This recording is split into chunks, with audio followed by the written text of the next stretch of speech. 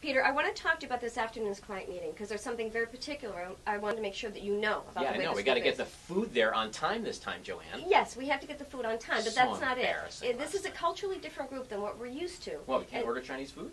Mm, No, it's not the Chinese food. It's that this group manages Q and A I just want to make sure that Chinese food is better than it was last time. It's not the food. It's so the Q and A. embarrassing. Both times. I can't believe it. Peter, it's the way they manage Q and A. Q and A is not a problem for me, Joanne. I'm really fine with Q and A. It's where I shine. It's not you. Oh, it's them. How's they my don't. tie? it- the tie's fine. Okay, good. Don't worry about the Q and A. It'll be fine. I'll see you later.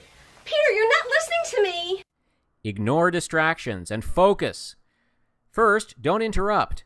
Second, make good eye contact. And third, paraphrase for understanding. Peter, I want to talk to you about this afternoon's client meeting because there's something very particular I want to make sure you know about this group. Or what is it? Well, they're a Japanese group. They don't interact during Q and A in the same way.